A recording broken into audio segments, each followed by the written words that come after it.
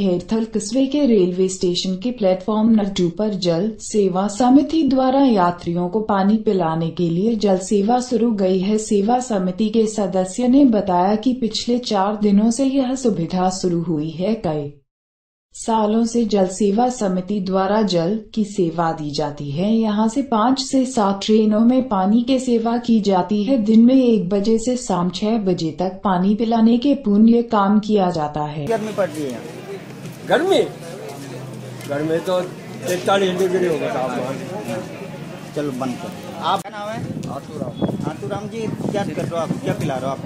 जल सेवा कर रहे हैं सर यहाँ। कितने सालों से हो रही है? होके आते हैं दोपहर के बाद ग्यारह बारह बजे के बाद से और शाम को सात बजे तक करीब पानी पिलाते हैं यहाँ पर।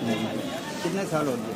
करीब सात आठ साल हो गए पानी पिलाते पिलाते चार पाँच घंटों में कितनी ट्रेनें गुजर जाती हैं यहाँ दिन में सात आठ ट्रेनें आती है। वैसे तो करीब चार ट्रेन तो रहे बाकी वीकली भी आती है। जैसे बुधवार को आती है पोरबंदर है या शाम को शुक्रवार को राजकोट आ जाती है। अब किशनगंज अजमेर चालू हुई है। वीकली ट्रेनें हैं?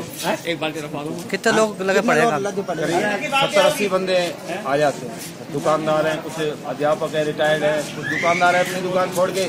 आजकल नेट का काम है मोबाइल पे नेट देख के आते हैं दस पंद्रह बीस मिनट के लिए आ जाते हैं पानी पिला के। हैं संस्था में है वैसे ही सेवा करते सेवा समिति जल सेवा समिति है रजिस्टर्ड समिति है और अपने पास ये बिल्ले बने हुए हैं। जल सेवा अपने जल सेवा समिति के है ये अपने रजिस्टर्ड नंबर है। कहाँ जाना है आपको? या तो कितनी गर्मी पड़ रही है? पानी की कितनी दी जा रही है क्या लगता है गर्मी में पानी मिला है? गर्मी में पानी पीना कितना ठंडा पानी मिला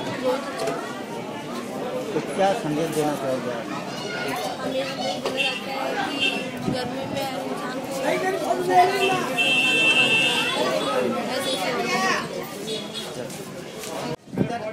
चाहता है कि गर्मी में इंसान को ऐसे ही। लो लो करना ठाट से